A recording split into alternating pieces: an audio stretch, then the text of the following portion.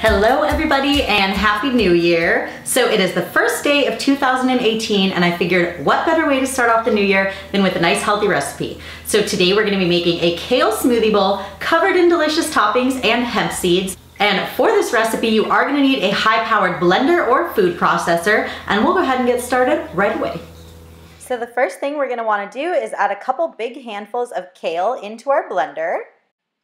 And next up, I'm adding approximately three bananas worth of frozen bananas into the blender. So I freeze my bananas after they're nice and spotty and ripe, and then I just cut them up into little pieces and put them in a freezer bag, and in 12 hours, they'll be ready to use. And the last thing I'm gonna add is just a couple chunks of frozen pineapple. And the only liquid that I'm gonna add is just a tiny splash of water, no more than a tablespoon. You don't want your smoothie bowl to get too watery, so just a splash should be plenty.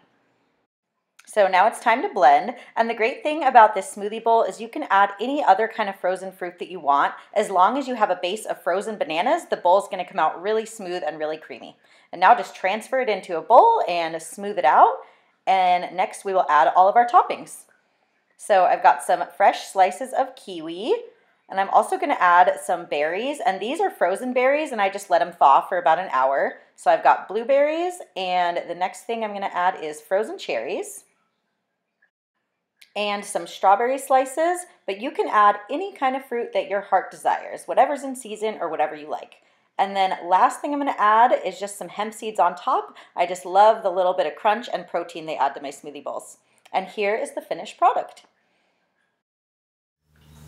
All right, everybody, so thank you for watching. I hope that you make lots of happy and healthy choices for yourself this year, and I will see you next time.